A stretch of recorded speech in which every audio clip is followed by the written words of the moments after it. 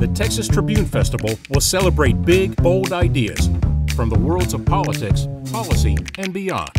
September 21st through the 23rd in Austin. More information at tribfest.org.